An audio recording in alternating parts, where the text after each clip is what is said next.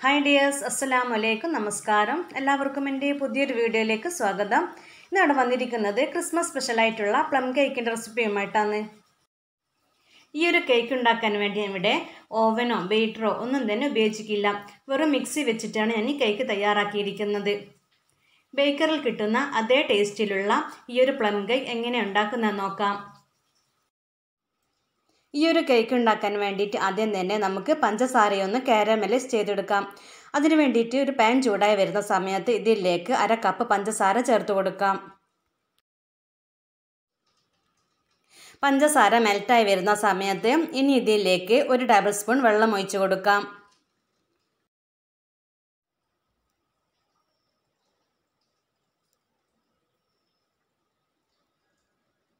ഇതിന്റെ കളറൊക്കെ മാറി പഞ്ചസാര നല്ലതുപോലെ കാരമലായി വന്നിട്ടുണ്ട്.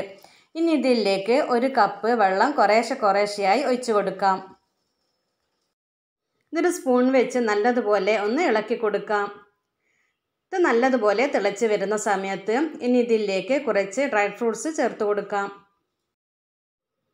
ഞാനിവിടെ കുറച്ച് കറുത്ത മുന്തിരിയും അതേപോലെ കുറച്ച് ടൂട്ടി ഫ്രൂട്ടിയും പത്ത് ഈത്തപ്പഴം ചെറുതായി കട്ട് ചെയ്തിട്ട് എടുത്തിട്ടുണ്ട്. ഇനി ഇത് നല്ലതുപോലെ തിളച്ച് കുറുകി വരുന്ന സമയത്ത് ഈ ഡ്രൈ ഫ്രൂട്ട്സ് ഒക്കെ അതിലേക്ക് ചേർത്ത് നല്ലതുപോലെ ഒന്ന് മിക്സ് ചെയ്തെടുക്കാം.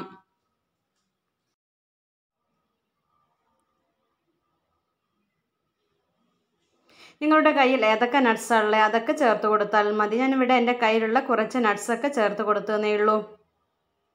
ഇത് ഏകദേശം ഒന്ന് കുറുകി വരുന്ന സമയത്ത് നമുക്ക് ഗ്യാസ് ഓഫ് ചെയ്ത് ഇതൊന്ന് ചൂടാറാൻ വേണ്ടി മാറ്റി വെക്കാം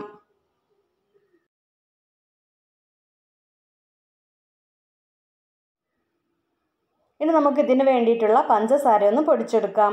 അതിന് വേണ്ടിയിട്ട് മിക്സിയുടെ ചെറിയ ജാറിലേക്ക് അര കപ്പ് പഞ്ചസാരയും ആറ് ഗ്രാമ്പും ചേർത്ത് നല്ലതുപോലെ ഒന്ന് പൊടിച്ചെടുക്കാം. പഞ്ചസാരയും ഗ്രാമ്പും നല്ലതുപോലെ പൊടിച്ചെടുത്തിട്ടുണ്ട്.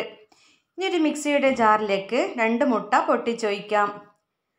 ഇനി ഇതിലേക്ക് ഒരു ടീസ്പൂൺ വാനില എസൻസ് ചേർത്ത് നല്ലതുപോലെ ഒന്ന് അടിച്ചെടുക്കാം. ഇനി ഇതിലേക്ക് നമ്മൾ പൊടിച്ച് വെച്ച പഞ്ചസാര ചേർത്ത് ഒന്ന് അടിച്ചെടുക്കാം. ഇനി ഇതിലേക്ക് അര കപ്പ് ഓയിൽ ഒഴിച്ച് ജസ്റ്റ് ഒന്ന് അടിച്ചെടുക്കാം. നമ്മൾ തണുക്കാനായി മാറ്റി വെച്ച ഡ്രൈ ഫ്രൂട്ട്സിലേക്ക് മിക്സിയിൽ അടിച്ചെടുത്ത മുട്ടയുടെ മിക്സ് ഒഴിച്ച് നല്ലതുപോലെ ഒന്ന് മിക്സ് ചെയ്തെടുക്കാം. ഇനി നമുക്കിതിന് വേണ്ടിയിട്ടുള്ള ഡ്രൈ ഇൻഗ്രീഡിയൻസ് ഒക്കെ ഒന്ന് തരിച്ചെടുക്കാം. അതിന് വേണ്ടി ഞാനിവിടെ ഒരു അരിപ്പയിലേക്ക് ഒരു കപ്പ് മൈദയും ഒരു ടീസ്പൂൺ ബേക്കിംഗ് പൗഡറും കാൽ ടീസ്പൂൺ ബേക്കിംഗ് സോഡയും ഒരു പിഞ്ച് ഉപ്പും ചേർത്ത് നല്ലതുപോലെ ഒന്ന് അരിച്ചെടുക്കാം. ഇത് രണ്ട് മൂന്ന് പ്രാവശ്യം നല്ലതുപോലെ ഒന്ന് അരിച്ചെടുക്കാം.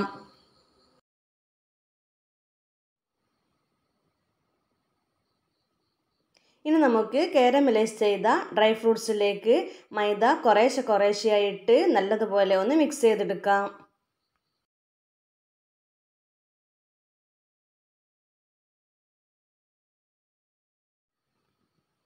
ഞാനിവിടെ മൂന്ന് പ്രാവശ്യം കുറേശ്ശെ കുറേശ്ശെ ഇട്ടിട്ടാണ് നല്ലതുപോലെ മിക്സ് ചെയ്തെടുത്തിരിക്കുന്നത്.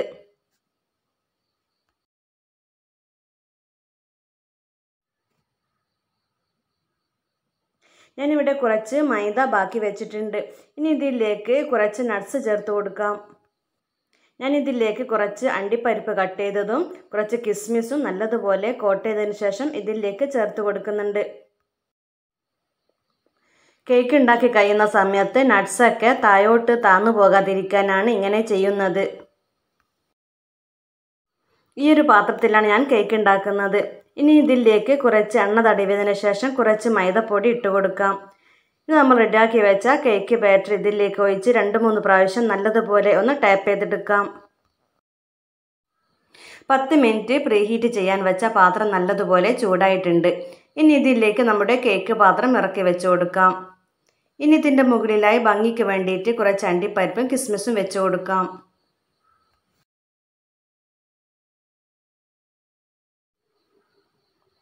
ഇനി നമുക്കിത് മൂടി വെച്ച് മീഡിയം ഫ്ലെയിമിലിട്ട് കുക്ക് ചെയ്തെടുക്കാം. ഇനി നമുക്കൊരു മണിക്കൂറിന് ശേഷം ഒരു ടൂത്ത് പിക്ക് വെച്ചിട്ട് ഒന്ന് കുത്തി നോക്കാം. ഇതെനിക്ക് ഒരു മണിക്കൂർ കൊണ്ടാണ് നല്ലതുപോലെ കുക്കായി കിട്ടിയത്. നല്ലതുപോലെ ചൂടാറിയതിന് ശേഷം നമുക്ക് പ്ലേറ്റിലേക്ക് മാറ്റാം. അങ്ങനെ ബേക്കറിൽ കിട്ടുന്ന അതേ ടേസ്റ്റിലുള്ള പ്ലം കേക്ക് നമുക്ക് വീട്ടിൽ തന്നെ തയ്യാറാക്കാം. ഈ ഒരു റെസിപ്പി എല്ലാവരും ഒന്ന് ട്രൈ ചെയ്ത് നോക്കണേ. വീഡിയോ ഇഷ്ടമായാൽ ലൈക്ക് ചെയ്യുക കമന്റ് ചെയ്യുക സബ്സ്ക്രൈബ് ചെയ്യുക. താങ്ക്